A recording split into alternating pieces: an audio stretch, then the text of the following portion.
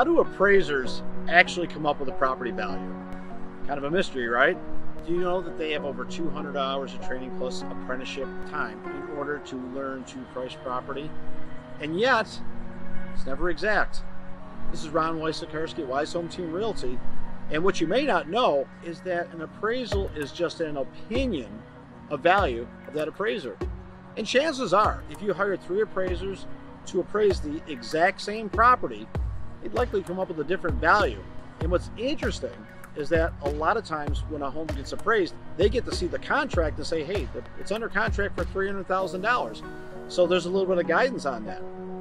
You want to throw a little mystery into it, send three appraisers out there and don't show them a contract and don't give them a price and nothing to go on. Now they really have to use their skills and research. Now, once they have that property and they've looked at the recent sales, the homes that are currently available on the market, maybe some that are pending in those three areas, it's going to give them some clues of where the property might be priced. And even with that, there's going to be some margin for error.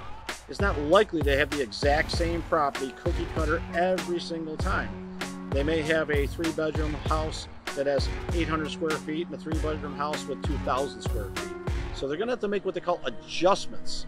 And they're going to compare those adjustments on the comparable properties and they're going to make adjustments up or down to eventually get you the value of what they call the subject property. See, that would be your property that they're trying to appraise. And they always adjust the comparables, never the price on the subject property. So it can get a little bit murky. Here's how I break it down in the plainest of English terms. They're going to look at what's sold recently, what's currently on the market, and what's under contract. They're going to look at those numbers and make adjustments to make those properties as close to the subject property, your property, as possible. Then they're going to compute a number based on that sales approach. If that doesn't work, they might use what they call a cost approach, which is what it would cost to build it in today's market, which with pricing and supply chain issues is rarely used. And if it's an investment property, well, they might use the income approach, what the rents might be. The most often used is the price comparison approach, and that's the one you're probably most familiar with.